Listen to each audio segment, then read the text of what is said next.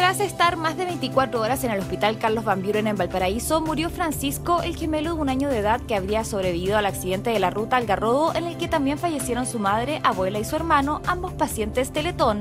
Su diagnóstico tras sobrevivir al choque era complejo y la expectativa de los médicos tratantes no era buena. Ayer se informó que el niño presentó al menos cuatro paros cardíacos y estaba en condiciones críticas.